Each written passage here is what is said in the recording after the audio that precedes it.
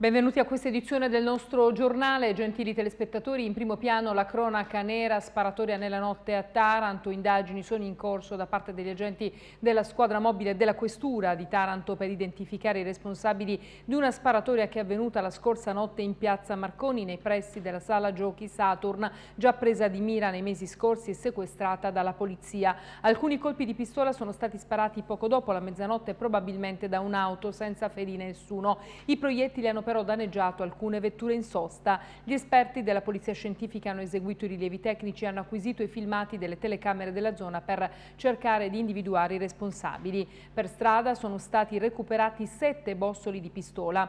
Indagini a 360 gradi da parte degli agenti della questura di Taranto si indaga però soprattutto nell'ambito dello spaccio di stupefacenti. La sparatoria potrebbe essere maturata nell'ambito di contrasti sorti per il controllo del territorio nel fiorente mercato dello spaccio di droga droga.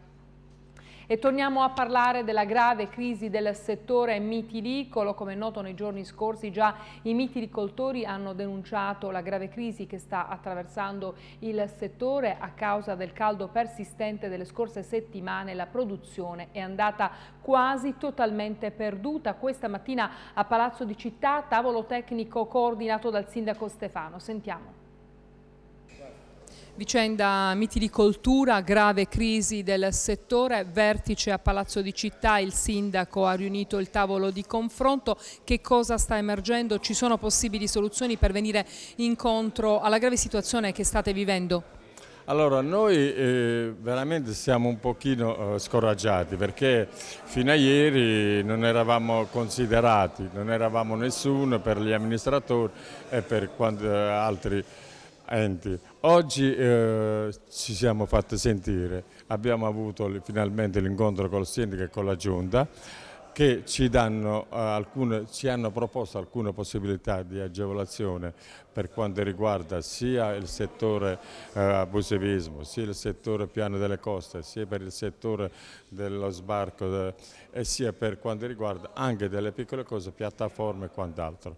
Quindi oggi come oggi il sindaco pare che sia, sia con la giunta si sia messa a disposizione per poterci venire in incontro, ma non solo.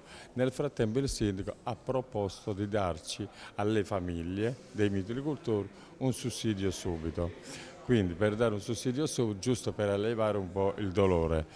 Però il dolore grande rimane perché eh, questi mitilicoltori, tutti, la categoria intera, hanno difficoltà adesso che non possono andare più a mare perché non c'è più niente, eh, non, possono, non, sanno cosa fare e quindi è eh, urgente, noi stiamo chiedendo adesso un tavolo tecnico con la Regione dove discuteremo di fare interventi su questa categoria, ma non solo. Uh, io ho fatto una proposta per prevenire l'anno prossimo, quello di chiedere uh, le specchie d'acqua in Mare Grande per quattro mesi e usarli come deposito. Però questo gli ho chiesto, vista la situazione di gravità economica che la categoria sta subendo, perché di chiederlo in, cioè in comodato d'uso gratuito, solo per quattro mesi, in modo tale che se dovesse ripetersi di nuovo una calamità di questo tipo abbiamo eh, la possibilità di poter salvare la merce.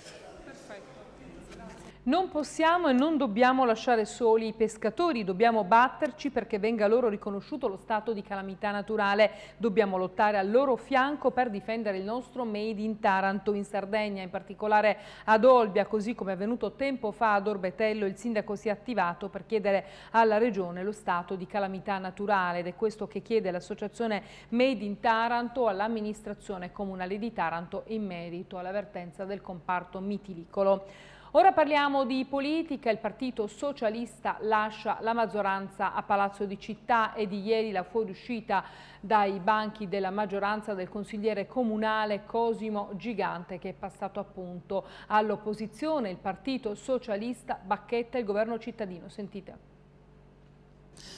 Ufficializzata ieri in Consiglio Comunale la fuoriuscita dalla maggioranza del consigliere comunale del Partito Socialista Cosimo Gigante, il vostro è un giudizio totalmente negativo nei confronti dell'amministrazione comunale in carica? Sì, in effetti, anche perché il nostro consigliere Gigante, eravamo presenti una delegazione abbastanza sostenuta per dargli la nostra ispirazione al consigliere, ha evidenziato quali sono i punti. Primo punto è che un consigliere di un partito politico, che è quello del PSI, che non può esprimere tutto il suo modo di lavorare all'interno di un consenso, è un fatto estremamente negativo. Rimanere lì per riscaldare le sedi non serve a nessuno. Ma allo stesso tempo noi diciamo che il Partito Socialista aveva più volte con una delegazione del Comitato Cittadino eh, sollecitato il sindaco un modo diverso di gestire la cosa pubblica. Non è possibile che questo sindaco eh, a Taranto, questo è un giudizio eh, del segretario ma anche di molti di noi, da quando lui è eh, sindaco ha fatto dormire questa città. Gigante la goccia che ha fatto traboccare il vaso, l'esonero dell'assessore Cisberto Zaccheo dalla giunta Stefano? No, assolutamente no, uh, l'avrei fatto sette mesi fa.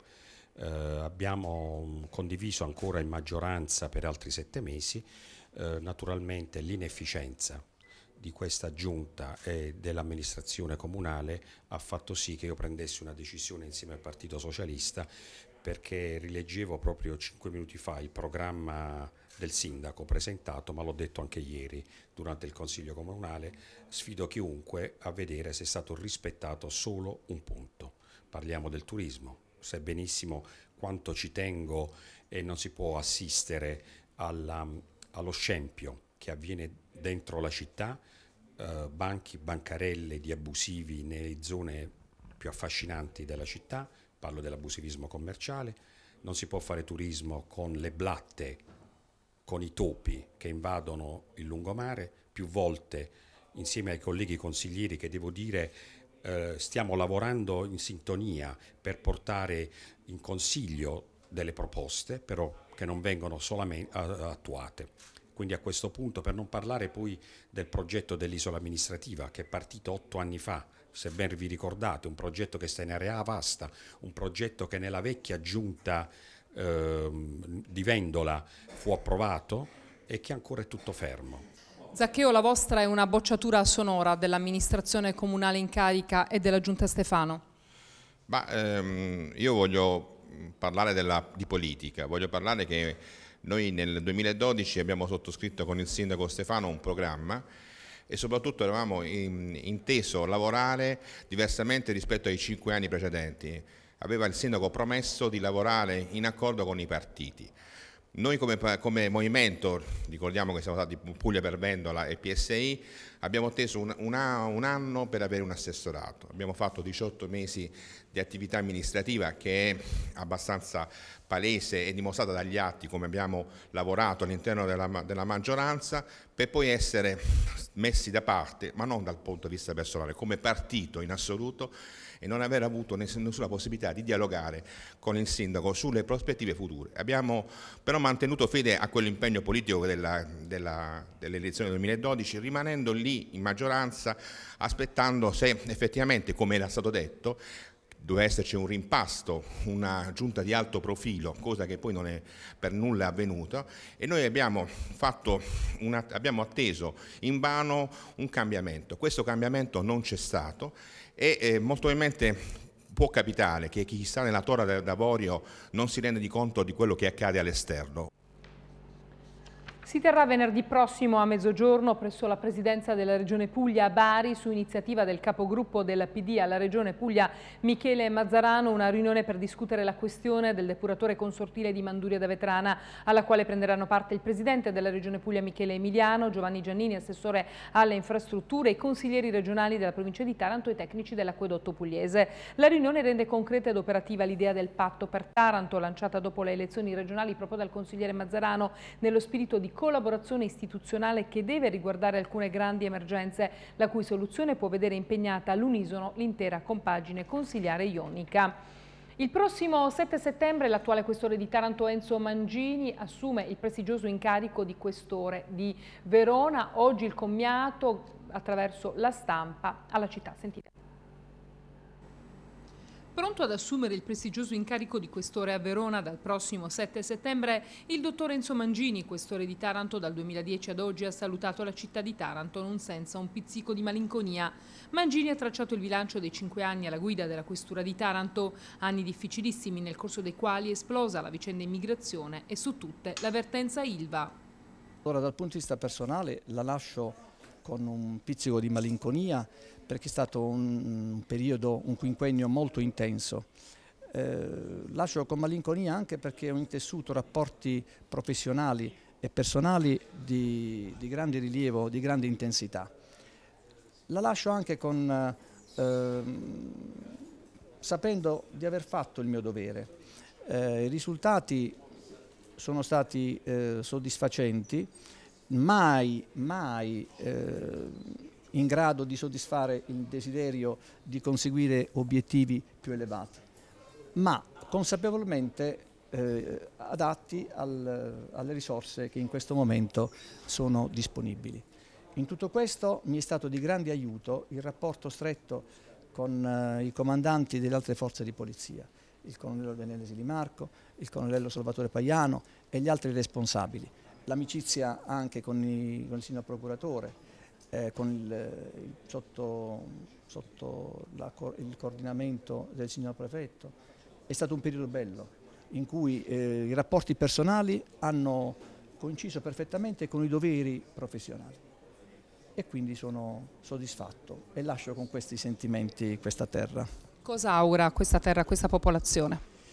Io auguro una maggiore, che si torni a una maggiore coesione sociale, perché recenti episodi, recenti fatti, recenti eventi in cui probabilmente questa provincia si è misurata con situazioni di rilievo nazionale che vanno al di là, eh, problemi dell'ambiente, del lavoro, eh, situazioni difficili che non possono trovare solo in questa terra le soluzioni, però è importante che si arrivi a un equilibrio, un nuovo equilibrio magari.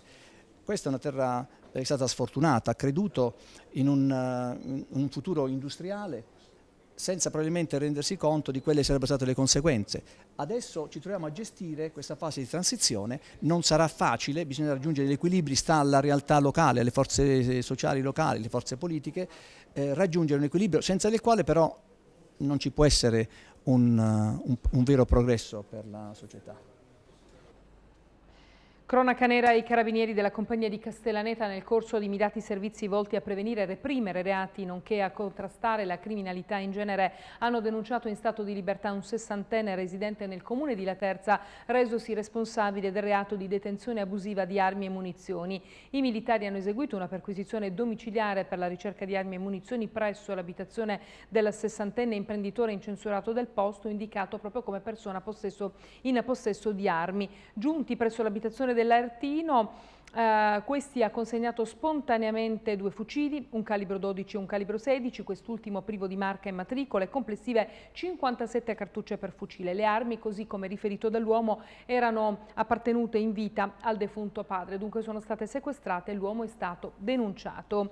I carabinieri della compagnia di Martina Franca hanno arrestato in flagranza di reato di tentato furto un 31enne del posto di nazionalità rumena. L'uomo era stato notato a girarsi con fare sospetto nei pressi del palazzo dove abita un'anziana signora da un giovane che in quel momento era affacciato al balcone. Insospettito da quegli strani movimenti, il giovane non lo ha perso di vista, riuscendo così ad accorgersi che il 31enne, dopo essersi arrampicato lungo una grondaia, aveva raggiunto il balcone dell'abitazione della donna. Dunque il ragazzo ha allertato il 112, due equipaggi dei carabinieri giunti sul posto hanno bloccato il 31enne mentre ripercorreva all'inverso la grondaia nel vano tentativo di scendere e poi fuggire. E ora parliamo di ambiente. Taranto ospiterà nelle prossime settimane un importante convegno nazionale sul tema organizzato dalla Conferenza Episcopale Italiana. Sentite. Si celebra oggi, primo giorno di settembre, la giornata mondiale di preghiera per la cura del creato sul tema Un umano rinnovato per abitare la terra. Da anni la Conferenza Episcopale Italiana ha proposto questo appuntamento come occasione di preghiera e di riflessione sulla custodia del mondo nel quale il Signore ci ha dato di vivere. Papa Francesco ha voluto istituire questa giornata a livello mondiale lo scorso 6 agosto. Lo sfondo su cui si muove una nuova presa in carico della cura del creato è il documento che il pontefice ha voluto donare alla Chiesa e al mondo, l'enciclica Laudato Si, che con audacia e chiarezza propone ai credenti e non solo di operare una conversione ecologica che attinge i suoi fondamenti dal ricco patrimonio spirituale, dove si intende una spiritualità non disgiunta dal proprio corpo né tantomeno dal mondo in cui si trova a vivere. Quest'anno, a dare un particolare significato alla giornata per la custodia del creato, vengono a convergere tanti elementi, a partire dall'enciclica Laudato Si che Papa Francesco ha dedicato alla questione ambientale. Assume poi un forte rilievo il quinto convegno ecclesiale nazionale, così come il Giubileo della Misericordia che si aprirà il prossimo 8 dicembre. Fin dalla pubblicazione dell'enciclica ha auspicato che Taranto, dice l'arcivescovo, ne diventasse un laboratorio privilegiato e permanente. Per questo motivo sono felice per un tema così attuale di indicare il capoluogo ionico come sede delle celebrazioni nazionali per questa giornata. A Taranto infatti si terrà il convegno nazionale il 19 settembre a cura della Commissione Episcopale per i problemi sociali e il lavoro, la giustizia e la pace. Viviamo in un tempo, dichiara Papa Francesco, in cui tutti i cristiani affrontano identiche ed importanti sfide alle quali, per risultare più credibili ed efficaci, dobbiamo dare risposte comuni. Dobbiamo lavorare con convinzione perché l'invito del Papa non cade inascoltato, conclude l'arcivescovo Filippo Santoro.